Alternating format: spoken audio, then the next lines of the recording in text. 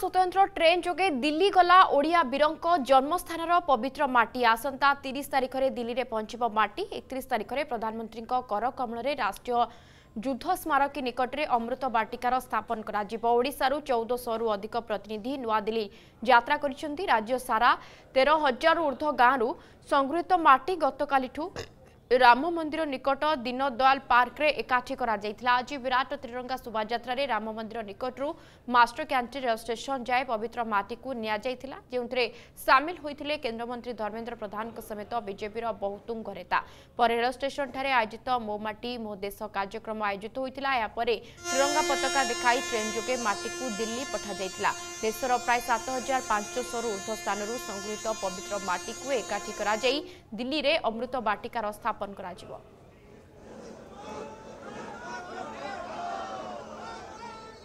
ବିଗତ ତିନି ମାସ ଧରିକି ଅଗଷ୍ଟ ସେପ୍ଟେମ୍ବର ଅକ୍ଟୋବର ଦେଶରେ ଏକ ନୂଆ ଜାଗରଣ ତିଆରି ହେଲା ନୂଆ ଚେତନା ତିଆରି ହେଲା ରାଷ୍ଟ୍ରୀୟ ଏକତା ଦେଶ ପ୍ରେମ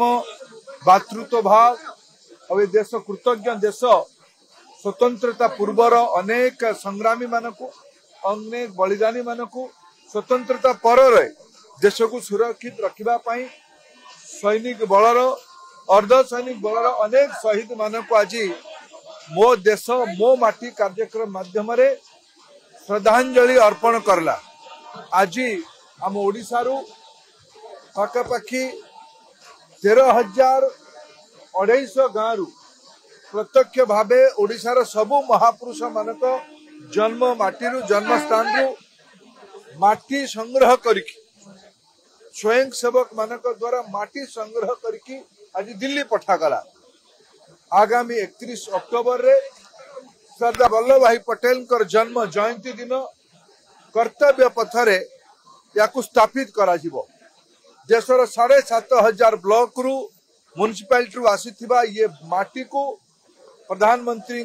अर्पण गरिबत बाटिकामृत